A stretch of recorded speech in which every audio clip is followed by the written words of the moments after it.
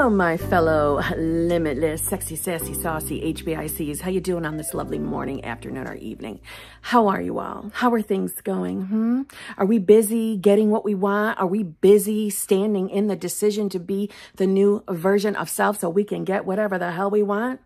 You better all have just said yes to that. So let's get busy let's get busy today. So I'm not sure what the title is, but we are going to talk about how I got my specific person to change literally overnight.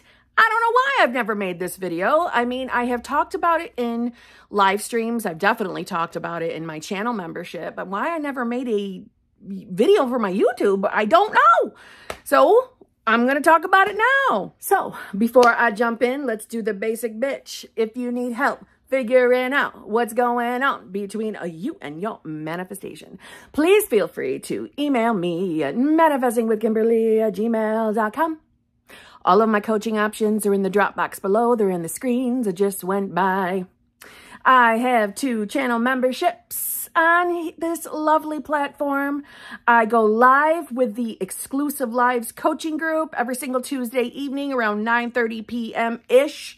Eastern Standard Time. And with the hot seat slash group coaching membership, I go live with them every single Friday around 9 a.m. ish Eastern Standard Time. If you join the hot seat group, that group gives you access to both memberships, to both. So it's worth it. That, that one's worth it, I'm just going to say. Um, I have TikTok, I have Instagram. If you are new here, I would love for you to subscribe and come back and see me. Clearly, if you haven't figured it out, my name is Kimberly. We talk about getting what we want over here. Okay, so let's get into it. So if you're new here, if you if you never knew anything, I do have my specific person. I'm in a an amazing, loving, fulfilling, committed relationship with my dude.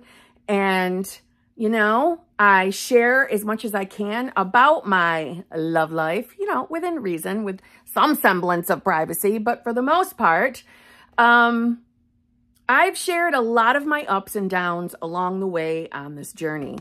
And in the beginnings of my manifestation journey, I wasn't that great in the love department. I wasn't that great. Love was a tough category for me. I never really thought that I would ever experience a real love, you know, relationship, meaning where someone could just show up and choose me. I never believed that, that was a possibility. I never believed that I would be with a man that could make me feel unconditionally loved by him and, you know, feeling like I'm his top priority and literally his actions match his words. I had, I have only ever had a one other relationship that was just about as close as my current relationship is. And it was my first one ever. And it was, uh, I was 15 years old. It was my high school uh, sweetheart. That was the longest relationship I'd ever been in. It was a 10 year relationship. But I haven't had success since then until now. And that is because of the law of assumption. Okay, just going to make that clear. But in the beginnings of my journey, you know, when I was manifesting love, I had manifested uh, SP from, you know, not knowing him, meaning I was manifesting a brand new love. And this was like my first real manifestation within the law of assumption. And I had scripted to manifest this person. And unfortunately, because I wasn't changing self, I also manifested two solo vacations with this person. So that wasn't fun. It was super triggering and upsetting. And, you know, I thought my life was over, that I was going to die. Thought I wasn't going to ever be able to get him back, blah, blah, blah. So I don't often talk about the first breakup, that first solo vacation, because essentially I learned nothing. It was very short. I got him, or I manifested him back very quickly. And, you know, I learned nothing. I'm just going to word it like that. I learned nothing. I went right back to old behaviors. So few months later is when I manifested the second solo vacation. And in that solo vacation, that one felt horrible. I think right now, this is literally why a lot of you who have been around my channel for a bit why you resonate with me because I experienced and probably have thought the exact thought that's, that you're currently thinking if you're in your own solo vacation.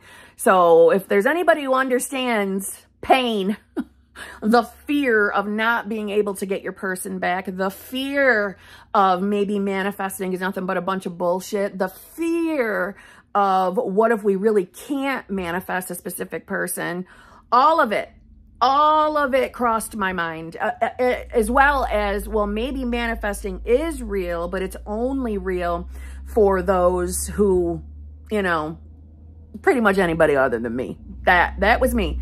Full on panic, almost angry, not almost, I was. I was angry at manifesting. I was manifesting community. I was so upset, heartbroken, devastated, and really struggled daily to get out of that state.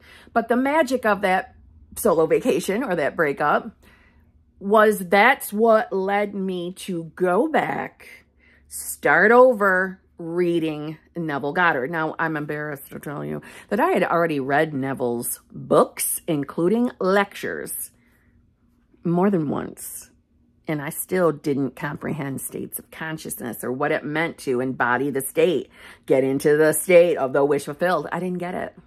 I didn't get it. But during that solo vacation, that's when I went back to reading Neville, and finally I had my light bulb moment. I understood what he meant by states of consciousness. It's literally just who you are being, who you are being. And yeah, it changed the game for me, changed my life, and I manifested my specific person back. And when SP first came back, I can uh, tell you he was not his best version. He was not. He was really cold and distant, and I consistently felt like he was pushing me back. Um, it was awful.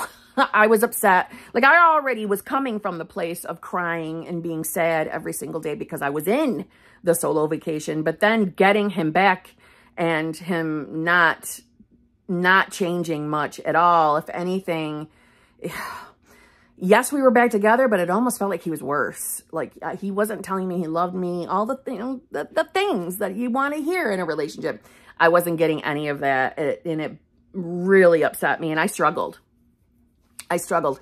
And I also found, even though I understood states of consciousness and I was actively, you know, trying to embody the state of me having that loving, fulfilling, committed relationship, you know, I was efforting to get into that state, which I'm going to tell you right now, you're not going to force your way into a state.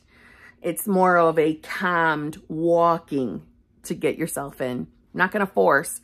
And when he came back and I had to deal with him daily, I was constantly kicked out of the state and triggered and upset. And I would let him control my whole day. I would let him control my day. I would let him control my mood. And the poor dude didn't even know it, to be honest. He didn't even know what was going on. It was, I was keeping it all up here. Um, so I reached a day that I, I feel like it was my breakdown day. Like I couldn't take another minute of it, another phone call of him not saying, I love you. I couldn't take it anymore. I couldn't take the cold behavior. I was done. Like I was mentally done. I wanted it to stop. I wanted it to stop. But I couldn't get my eyes off of it. My I was so heavily attached to my 3D and that's why I bring it up Listen, you want to foolproof your manifestation? You want to guarantee that manifestation come in? Get yourself fucking detached from your 3D. We'll talk more about that in a moment. So I reached a breaking point day and I'm like, I, I cannot do this anymore. I'm fucking miserable. If anything, I feel worse now that he's back than I did when I was in solo vacation. I was just at the, I am done. I am done. I don't want to lose you, but I can't take much more of this.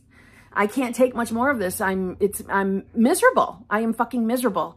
And I don't want to do this anymore. I either want my goddamn relationship back and I want him showing up right or I don't know, maybe I'll move on to somebody else. I mean, I questioned everything. So I, you know, I thought about it. I'm like, I don't want to move on. I, I want him. I, and I'm a stubborn bitch. And if I want something, I fucking want it. I don't want to have to take second best. I don't want to have to change my mind. I mean, don't get me wrong. There's absolutely nothing wrong with deciding you want a different specific person. You know, sometimes we find people not as attractive as much anymore. Things happen. And when they do, there's nothing wrong with that. However, I wasn't ready to find somebody else. I wanted this. I wanted to conquer it. And that sounds like shit, but I did. I wanted to conquer this. I wanted to get it. so, it. I reached the place where I'm going to really mean it when I say get my hands out of the 3D. I'm going to do it. What do I have to lose? Right? So uh, like I just said, I'm going to take his calls. I'm going to text back. I'm not going to be a bitch. I'm not going to be cold. I'm not going to be distant. I am just not going to participate in the 3D any longer. I am not going to get triggered if he's still cold. Not going to do it. If he doesn't say I love you, if that didn't come out, I don't care. I'm not going to let it bother me anymore. I'm going to choose to see it for what it is. And what is it? It's the manifestation of who I was being. Maybe not in that moment, but previously, yeah, that was a clear-cut, perfect manifestation of who I was being. So I, I couldn't question it. I wasn't shocked. You know, it hurt. It was painful. Just like I know hot and cold behavior is fucking painful if you're experiencing it. But if you're honest with yourself, you know why it's happening. You know where your mind is. There's no getting around with this.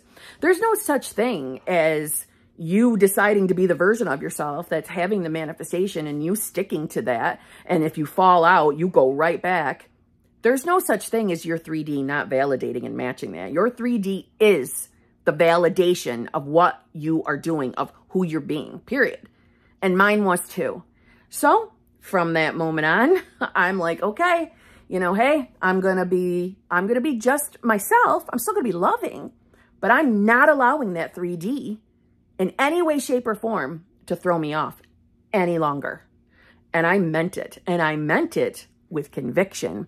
And it was my emotional charge behind that conviction, that decision. I know that's why it worked. I didn't understand it then, right? I didn't understand it then, but I know that now because I was fucking serious. Now, what I don't mean is I wasn't stifling my emotions. I wasn't pretending things aren't bothering me. I just decided, why am I letting it bother me? I know what it is. I know why he's showing up this way. And I know it will change. I've already manifested him back. I've already got him back. I just need to, you know, perfect the version. So I put all the focus on my state, on my state. Now, back then I wasn't calling it the version of self who has the manifestation. I was calling it my state. So I focused on that. Was I perfect? No. Did I fall out of the state? Yes. Did I give a shit? No. I would walk my way back calmly. I am deciding that I'm going to conquer this. This is important to me. I want to experience it and I'm not going to live afraid of my 3D any longer because life is miserable when we allow the 3D to throw us around. You know, it's not fun living like that and it's also not manifesting. In other words, if you are so easily thrown out and, and losing your shit because SP isn't showing up right, what are you doing? What is it manifesting only when you're having a good day? That's not how this works. Honestly, and deep down, you know that. Well, I did too. Yeah, I was still doing it in the past. So, like I said about, like, I, I was good. Like, this was like first thing in the morning of I'm done with this shit. And it was probably because I got a if I remember correctly, it was like a basic bitch morning message and it triggered me. Like it had always been triggering me. It was just a morning, morning. And I, you know, I would actually think that was his voice when he would text me like that. Ugh. And I got upset by it. I'm like, all right, I'm done. I'm done. So for the rest of the day, I was, nope, I am not allowing myself to wallow in victim state anymore. I care more about getting this manifestation than I do feeling sorry for myself because feeling sorry for myself and wallowing and blaming and looking at him and saying, you know, you're doing this to me wasn't getting me anywhere. It wasn't getting me my manifestation. If anything, it made things worse. So that was it. The rest of the day, I stood in conviction. What do I think it would feel like if he was showing up loving? What do I think that would feel like? Back then, my responses, I don't know them word for word, right? Because this was a few years ago. But I'm, I, in, in speaking of it now, well, I would think it would feel good. It would feel good. I would feel calm. I would feel relaxed. I would be in a comfortable knowing that, oh my God, I did this. I'm the one manifesting this and I'm, I'm getting to experience what it feels like to be loved, to be chosen. So to me, it would just feel good. So I didn't put the pressure on myself to fake feeling good when, you know, I, I, I never ever have done anything like that on this journey. I don't pretend to have feelings that I'm not having, right? My God, how many background changes? I have to be 100% clear. I did not put the pressure of being 100% perfect in this moment, right? I didn't do that. I just made it more of like a goal of, I'm going to get through today. I'm going to get through today where I'm not letting this 3D kick me out anymore. I'm not going to do it. There is no point in being upset all day long over a text message, and there's no point being upset all day long because he's not showing up the way I want. I believe in manifestation. I have enough faith in it that I know this will work. If I get to a more favorable state, he has to change. So I'm choosing to believe that he is his best version now. And that's where I'm staying. And if any thoughts came up, I'm going to be honest, I I remember thinking, "Holy shit, I'm not having many terrible thoughts that day." Like I made it through that day pretty good. I was pretty proud of myself because you know, let's use logic for a minute. If you know why things are the way they are in the 3D, what is the point of letting it upset you day after day after day? Right? Now, could I always think like that? No. I was upset nearly every day in that solo vacation. So if you're not there yet, it's okay. You're going to get here. You are. You're going to get to the point where you realize there's just no point in staying upset. I'm not saying you can't have a reaction. I'm not saying you can't have your emotional moment. I'm saying it, it was just really on my mind and in my face at that time that why am I letting this ruin my whole day so I can keep creating more of this shit from him? No, I want the best version of him and that's it. So I'm getting through the day. I'm getting through the day. And I did successfully. And I am telling you, literally the next day, a full 24 hours later, that man was a new man. And I mean a new man. The I love yous were back. The loving, you know, just just the loving version of him was back. And it was back like I remember feeling like a sense of relief like I just did that. I just did that. And I knew he still existed. I knew that version of him was there. And I got him back and it just felt, oh my God, I felt on top of the world. And you can do this too. Decide today that there's no point to stay upset and triggered every time your specific person isn't showing up the way you want. If you're experiencing hot and cold behavior, you've got to really ask yourself, who do you really believe you are? Who are you truly being day after day after day? Who are you being? If you're being someone that's constantly thrown around in the 3D because things aren't the way you want them yet.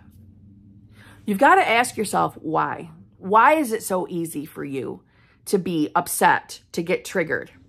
Like I said, this is not a message of you can never get upset, you can never have a bad day, or you can't react, you can't have an emotional moment. I don't mean any of that. I'm saying if it's all the damn time, if it's all the time, or every time your specific person shows up in a way you're unhappy with, if you're allowing that to throw you out of your manifestation game, you've got to ask yourself, why? And I'm telling you, it's because you're either believing that manifesting manifesting doesn't work, or I'm not going to be able to change SP, this isn't working for me, it works for everybody else, anything like that. You know deep down you are, or you don't think you're worthy or deserving of a loving, fulfilling, committed relationship. You can do this. Decide today that you're going to set yourself like a goal. I'm going to get through today and not wallow in circumstances. I'm going to get through the day. And if you make it through the day, awesome. Let's go to the next day. It's not about I have to maintain a particular state all day long. What matters is the returning to that state or returning to the version of you that's having the manifestation. But it's also getting yourself into the place of breaking the habit of easily being thrown out of your states, easily being triggered and seeing the 3D as the real, true reality. You're breaking the habit of doing that. And the easier that gets for, for you, A, it's be, you're becoming more detached from the 3D, which is a powerful place to be up here. It, I'm telling you, it's super powerful. I made it a point to get myself into a place of I allow myself my moment right? If something shows up and upsets me, I allow myself the moment. But then I'm done and I'm going back to a more favorable state. I don't put the pressure of, oh, I got to get in the wish fulfilled. I don't do that to myself. But I also ask myself, who are you being right now? Are you being old Kim who lived a miserable existence? Or if you or are you being the new Kim who's getting what she wants? So ask yourself, who are you being? Who are you truly being? Let today be the day where you stop letting the 3D control you. You decide to be the version of you that's having your manifestation. Ask yourself the question, what do you think it would feel like if you were living your dream life? And decide to be that version of yourself. Just be it. Just embody it. Just decide I'm going to live as if I already have everything I'm manifesting because it's already done. It's already created. So I know I'm inevitably going to have it. So let me live my life like it's already here, because technically it is. So that's how I did it. In 24 hours, that man changed. And I was pumped. I was pumped. It works. Manifestation is very, very real. Take your fucking power back. Take your power back.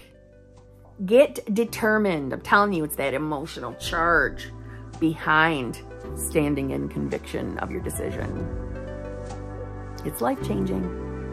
And on that note, I'll see you tomorrow.